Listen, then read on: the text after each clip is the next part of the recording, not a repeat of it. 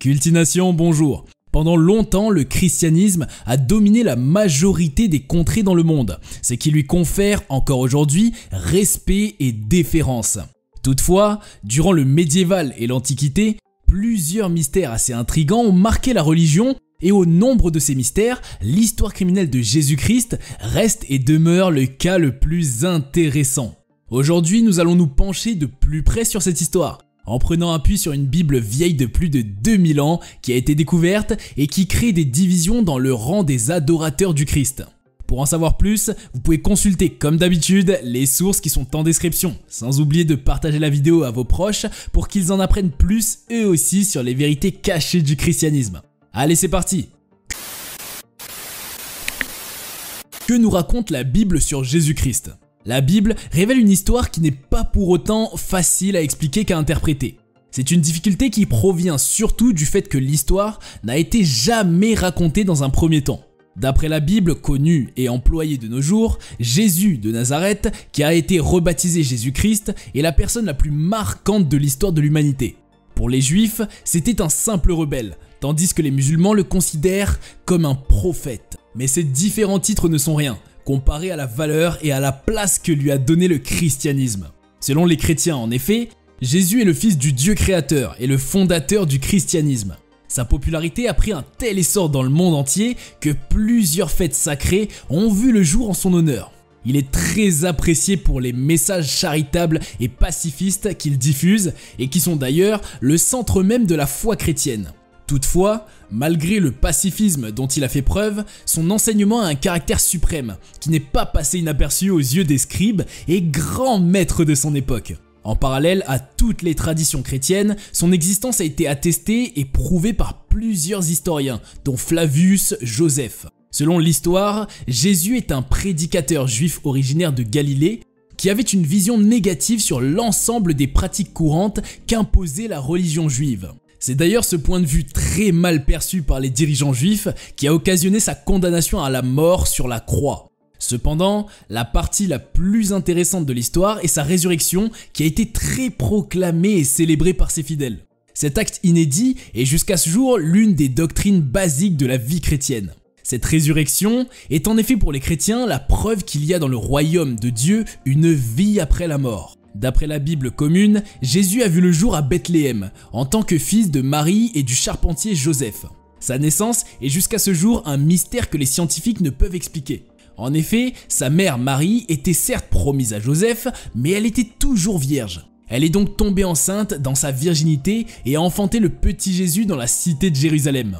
Chose bizarre, avant cet accouchement, les deux parents ne purent trouver un logement, afin de permettre à Marie de se mettre à l'aise. Elle finit donc par accoucher dans une mangeoire. Les chrétiens pensent qu'il s'agit d'une volonté de Dieu même, car il voulait se rabaisser malgré sa grande supériorité. C'est d'ailleurs cette naissance qui est fêtée partout dans le monde, sous le nom de Noël. Il a été ensuite présenté au temple d'après les consignes qui étaient d'actualité en ce temps. Jésus a donc connu une enfance à l'image de tous les enfants de sa région, après avoir survécu au roi Hérode qui voulait à tout prix le voir mort. Jésus n'aurait pas eu de frères et sœurs de sang, et le déroulement de son enfance n'est pas vraiment développé dans les écritures de la Bible. Cependant, l'on pense qu'il n'aurait pas eu une enfance différente de celui des autres enfants de son milieu. C'est durant un pèlerinage sur Jérusalem qu'il effectua la première action hors norme en ne suivant pas ses parents au moment de rentrer. Il fut retrouvé trois jours après au milieu des docteurs de la loi qui lui posaient de nombreuses questions.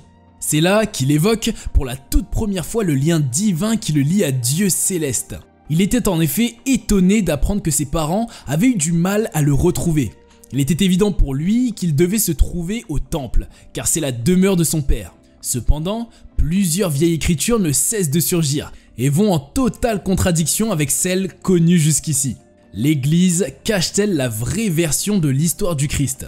La vie de Jésus en général, son ministère ainsi que l'histoire de sa fin sont racontés d'une manière très différente par d'autres Bibles et Écritures. Il est important de se poser les vraies questions sur ce qui est vraiment arrivé au père fondateur du christianisme et que cachent réellement les confusions qui existent dans son histoire. Pour trouver réponse à de telles questions, il est évident que vous compreniez d'avance que la Bible que vous connaissez aujourd'hui ne traduit pas du tout la version originale de la vie du Christ. Les écrits du Nouveau Testament ont été collectés et commandés uniquement après le 3 siècle. Autrement dit, le document a été rédigé non seulement après le ministère de Jésus, mais également après sa mort. Lors du concile de Nicée, la version originale a fait apparition. Cependant, il n'y avait plus aucun témoin, et cette version n'exposait pas l'histoire d'un homme qui a souffert et qui est mort injustement.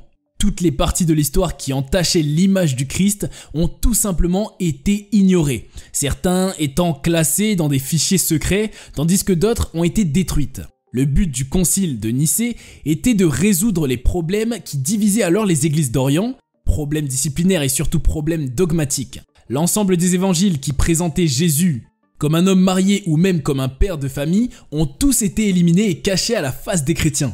L'un des exemples les plus connus est l'évangile de Philippe, dans lequel il est affirmé que Jésus et Marie-Madeleine entretenaient des relations intimes. L'auteur y a même affirmé que les deux étaient mariés. L'Église a supprimé cet évangile par exemple, car elle mettait en question la nature divine du Christ. L'évangile de Philippe est d'ailleurs considéré comme apocryphe par les chrétiens. Il y a eu également par exemple l'évangile de l'enfance, selon Thomas, qui a relaté des miracles un peu trop douteux qu'aurait réalisé le Christ. Il a dit par exemple que Jésus a transformé des figurines d'argile en de petits oiseaux. Vu le caractère trop mystérieux et mystique d'une telle action, l'Église a jugé bon de les bannir. Par ailleurs, une fois adulte, Jésus a révélé sa vraie face et a fait connaître à tous sa réelle mission sur Terre. Selon la Bible classique et les chrétiens, il est venu sur Terre pour sauver les hommes de leurs péchés. À travers les souffrances physiques qu'il a vécues, il affirme que son Père aurait pardonné ses péchés à toute l'humanité. Cependant, plusieurs historiens et autres savants ne sont pas d'accord avec une telle affirmation. L'histoire qu'on connaît du Christ n'est pas selon eux la vraie. Le doute a surtout gagné l'esprit de beaucoup de gens après l'apparition des rouleaux issus de la mer morte. Pour ceux qui ne le savaient pas, les rouleaux issus de la mer morte forment toutes une bibliothèque d'écrits théologiques et juridiques datant du 3e siècle avant l'ère commune jusqu'au 1er siècle de l'ère commune. De même, il n'existe presque pas de document d'histoire sur lequel on peut se fonder pour affirmer l'authenticité de la Bible. Il n'y a pas non plus de photos ou tout autre document de naissance qui peuvent permettre d'affirmer et attester que Jésus est non seulement le Messie, mais également le Rédempteur. Une nouvelle Bible est apparue en Turquie. Entre les années 1500 et 2000, une nouvelle Bible rédigée en araméen a fait son apparition en Turquie, avant d'être retrouvée en 2006. Les autorités du pays l'avaient maintenue secrète, afin d'éviter une crise mondiale et mettre la foi des chrétiens à l'épreuve. Lorsque les images ont été dévoilées sur la toile et que les textes de la Bible ont commencé à circuler, le Vatican a immédiatement pris la situation au sérieux. La première révélation de ces écrits est que Jésus est d'origine arabe. En plus de cela, les écrits affirment que Jésus n'est pas un être divin, mais plutôt un humain comme nous tous. Selon cette nouvelle Bible, ce n'est même pas lui qui a été crucifié sur la croix. Il y avait plutôt Judas et Barnabé car ils ont été désignés en ce temps comme des traîtres. Par ailleurs, dans cette Bible, l'arrivée du prophète Muhammad aurait été prophétisée par Jésus. Selon lui, Muhammad serait le réel rédempteur et porteur du salut de l'humanité. C'est la principale raison pour laquelle l'Église a désigné la Bible de Turquie comme étant une fausse. D'après les docteurs de l'Église, elle aurait été rédigée au 21e siècle dans le but de porter atteinte au prestige du Christ tout en offrant à Muhammad une certaine puissance et domination. Toutefois, ces écrits ont à ce jour une valeur qui est estimée à plus de 14 millions de dollars. De même, ce n'est pas la seule et unique découverte qui jette sur Jésus une lumière différente de ce qui est connu. Fragment biblique découvert en Israël en 2020. Dans une grotte d'Israël, il a été découvert en 2020 plusieurs fragments d'un nouveau texte biblique. Le parchemin inconnu n'a pas été tout à fait reconstruit, car les chercheurs continuent d'y travailler. Ils essayent de connaître le contexte de sa rédaction et si possible de trouver d'autres fragments du même parchemin. La découverte a été faite non loin de la ville de Jérusalem, à l'intérieur d'une grotte qui a servi de cachette pendant plusieurs années. Les gens s'y abritaient pour échapper à la brutalité dont faisaient preuve les dirigeants romains et les autres ennemis. En plus de ces fragments, les archéologues ont fait la découverte de plusieurs autres corps dont certains ayant plus de 6000 ans. Les analyses ont révélé par suite que ces personnes étaient mortes de faim et de soif. Les chercheurs n'ont pas encore révélé les résultats de ces trouvailles, toutefois, on sait déjà que ce sont des textes écrits par Zacharie et Nahum. Mais selon vous, confirmeront-ils les propos de la Bible que nous connaissons déjà? Ou une fois de plus, nous révéleront-ils des secrets sombres sur la vie de l'Église et du Christ? Plusieurs autres auteurs ont aussi une version différente de l'histoire de Jésus. Michael Béjean est un de ses auteurs et a procédé à la publication de son ouvrage Les papiers de Jésus en 2006.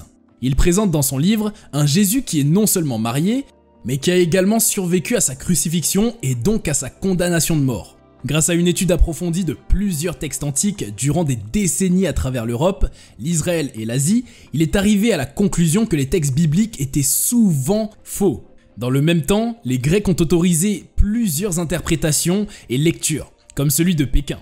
Ce dernier prétend par exemple avoir lu à plusieurs reprises, dans des ouvrages différents et originaux, que Jésus a bel et bien été crucifié, mais n'est pas mort. Ponco Pilate avait bien montré son désaccord sur la condamnation de Jésus. Ainsi, selon l'auteur, il aurait ordonné sa crucifixion afin de calmer la foule. Ainsi, il n'a pas vraiment été cloué, mais tout simplement lié. C'était d'ailleurs une pratique courante de l'époque, qui permettait de torturer ou exécuter les condamnés. Ils sont donc laissés au soleil et ne reçoivent ni boisson ni eau pendant plusieurs jours. Jésus aurait donc vécu la même situation, à la différence qu'il n'est pas mort, avant d'être redescendu. Selon l'auteur, il a simulé une mort rapide, afin que son cadavre soit enlevé et traité assez rapidement. Dans un autre passage de la Bible grecque, Pékin a pu lire que le cadavre de Jésus était désigné sous le terme de soma. Or, ce terme désigne clairement un corps vivant. Parlons maintenant du mystère de l'arche perdue de l'Alliance. Pendant que les Israélites ont quitté l'Égypte et traversé le désert du Sinaï, Moïse leur ordonna de construire une fausse arche de l'Alliance. À l'intérieur de cette dernière, il a été déposé plusieurs tablettes sur lesquelles étaient gravés les dix principaux commandements de la Bible hébraïque. Ces tablettes étaient censées avoir des pouvoirs mystiques qui sont à la fois bons et mauvais. D'après les écrits, elles auraient été réalisées dans le Jardin d'Éden et incarneraient la moralité de l'humanité. Toutefois, à l'image de toutes les histoires bibliques, la vérité dépend fortement de l'interprétation qui est faite. Toutefois, les érudits qui ont étudié l'arche perdue de l'Alliance débattent activement pour savoir si l'arche est faite en bois ou en or ou encore dans les deux matières. Ils ont également essayé de savoir où s'est retrouvée l'arche à la suite de sa disparition en Jérusalem. Dans les années 587, les Israélites ont reçu de la part de Dieu des instructions strictes et spécifiques pour construire de l'alliance. En effet, selon Dieu, l'arche doit non seulement être faite en bois, mais également en or. Toutefois, le bois devait être un acacia qui fait 1,143 mètres en longueur et 0,6858 mètres en largeur. En plus de cela, Dieu a exigé aux constructeurs de faire usage de l'or pour recouvrir le bois aussi bien à l'intérieur qu'à l'extérieur. D'après la conviction de tous, Dieu aurait confié la construction de l'arche à une seule personne. Il lui aurait ensuite attribué les compétences dont il a besoin pour le bon accomplissement de la tâche. D'après l'une des théories les plus connues, les Israélites ont fait usage de l'arche afin d'obtenir plusieurs avantages lorsqu'ils ont voulu conquérir la ville de Canaan. À la suite de ce long voyage qui s'est fait à travers le désert, la Bible hébraïque affirme que l'arche avait le pouvoir d'empêcher l'eau du fleuve Jordan de couler. Cela a donc permis aux concepteurs de l'arche de la transporter et traverser le fleuve. Elle a également porté son aide aux Israélites lors de plusieurs batailles qu'ils ont gagnées pendant qu'ils parcouraient le désert. Vu que l'arche était perçue comme très puissante et avait beaucoup aidé les Israélites, elle a disparu et a finalement été déclarée comme volée. Cependant, quelques temps après, les prétendus filous ont dû faire face à des maladies mortelles et se sont donc hâtés de retourner l'arche à son propriétaire. Lorsque les Israélites ont finalement atteint la ville de Shiloh, le roi David a repris l'arche chez eux et l'a remis à Salomon, afin qu'elle puisse être amenée à Jérusalem. Elle fut donc déposée dans un temple durant près de 2000 ans avant de disparaître une fois de plus. Les érudits affirment qu'elle a été volée à cause de ses immenses pouvoirs et qu'elle serait désormais cachée en Éthiopie. Qu'en est-il des rouleaux de la mer morte? Lorsqu'on aborde la question de la Bible et des nombreuses découvertes qui ont été faites, il existe une trouvaille qui ne cesse d'être mentionnée. Entre 1946 et 1947, il a été découvert des centaines de rouleaux ainsi que d'autres fragments dans 11 grottes proches de l'actuelle Palestine. Près de 230 manuscrits ont été rédigés sous la forme des rouleaux bibliques et leur contenu correspondait à celui de la Bible hébraïque. Il y avait également plusieurs hymnes évangéliques, de même que des prières, des textes de sagesse et même des textes qui abordent la question de l'Apocalypse. Il y avait également la description complète de certaines sectes de l'époque, ainsi que de leurs croyances qui étaient jusque-là inconnues.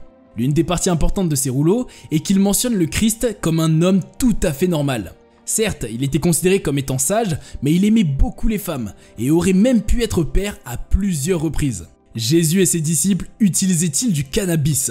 Il est difficile de donner une réponse à une telle interrogation quand l'on considère les dernières découvertes qui ont été faites dans un temple arabe. Elles sont directement une fois de plus à Jésus, ainsi que la Bible. En effet, il a été découvert dans ce temple un très vieux tissu arabe qui a été très bien conservé pendant plus de 2700 ans. Ce qui est intriguant avec ce tissu est qu'il renferme une substance qu'il s'est révélé être le cannabis. Ce cannabis contient du THC et aurait donc été brûlé avec de l'encens. C'est l'une des flagrantes preuves que des substances psychotropes étaient consommées dans les premiers cultes juifs. Cela avait en effet pour but de mettre les fidèles ainsi que les prêcheurs dans un état de conscience tout à fait différent. Quelle est alors votre opinion sur l'ensemble de ces mystères qui ne cessent d'entourer la religion du christianisme? N'hésitez pas à laisser vos impressions dans la section des commentaires ci-dessous afin de nous permettre de développer la communauté. Merci de nous avoir suivis et n'oubliez pas de vous abonner et laisser un pouce bleu. A bientôt sur Cultination.